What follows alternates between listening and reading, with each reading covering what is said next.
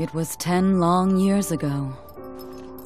Your mother had just left this world, yet her little bird still spread her wings and became the beacon of light Hyrule needed.